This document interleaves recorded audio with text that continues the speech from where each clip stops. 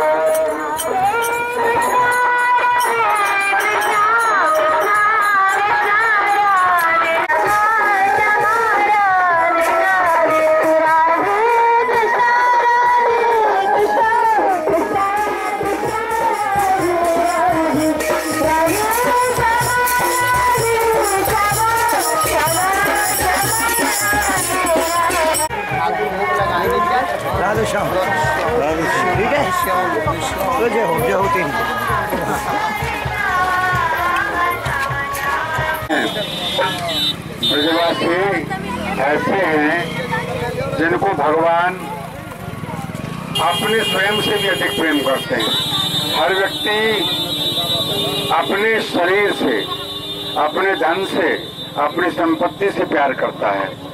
लेकिन हमारे लाला जो है, नंदलाल, वो अपने भक्तों से विशेष प्रेम किया करते हैं। तो इन ब्रज- ब्रजवासियों की हम महिमा क्या वर्णन कर सकते हैं। साक्षात पर ब्रह्म ही इनके दरवाजे पर आकर के मानता है।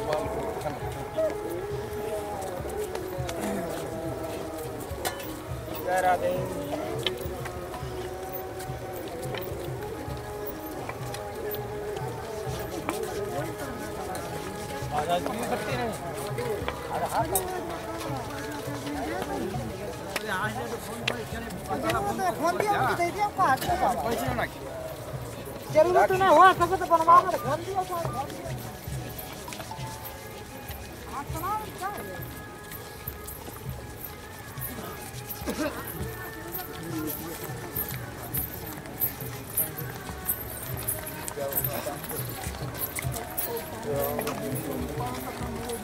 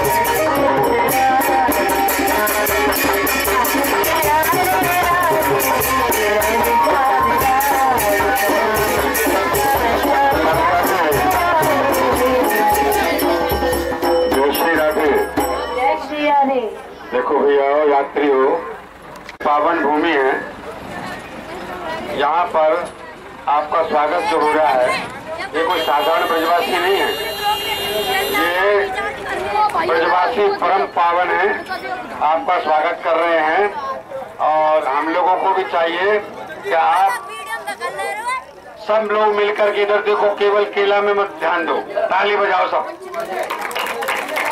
देखो, ये ब्रजवासी इतने उदार हैं कि इनके बराबर उदार भगवान भी नहीं हो सकता। तो ऐसे परम उदार इन वैष्णवों का हम लोग हृदय से स्वागत करते हैं। देखो और जगह हम कहीं लेते नहीं है। आज हमने मतलब ये केले इतने मांगे क्यों? हम जानते हैं। इन वैष्णवों का हाथ का प्रसाद जो पाएगा वो उस समय कल्याण उसका हो जाएगा तुरंत दिया तो ब्रजवासियों वैसे तो आप प्रबंध सुनो। ये नहीं गाँव के लोग इतने उदारता से आप घर घर में आपको दाल रोटी सब्ज़ी मिलेगी अभी आगे चल करके। और छिलका रस्ते में कोई मत फेंकना। अगर छिलका रस्ते में मिल गया तो भैया फिर सोच लो, हमारी बदनामी है, तुम्हारी नहीं है। देखो, बोलो मशीदा को तो उधर है, को तो उधर।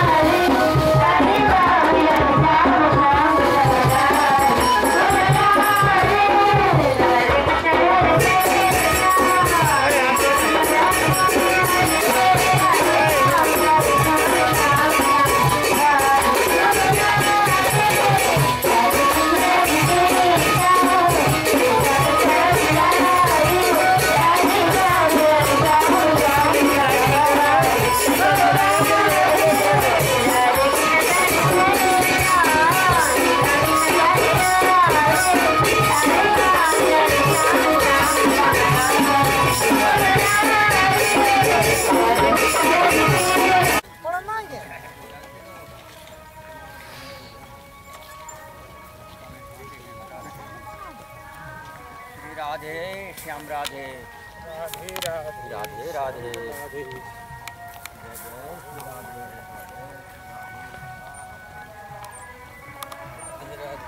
you.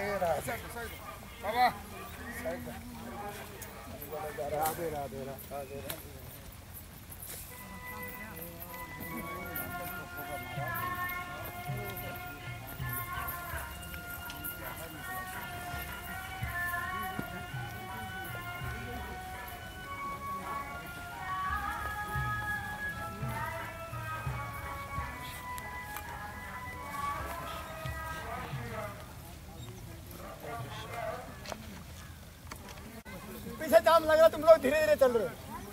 बढ़िया आगे जल्दी। नहीं हो रहा वो भी खाने लग बताओ पूरी बताओ बेटी जो भी ले का देते देखा तो जो खावे खिला।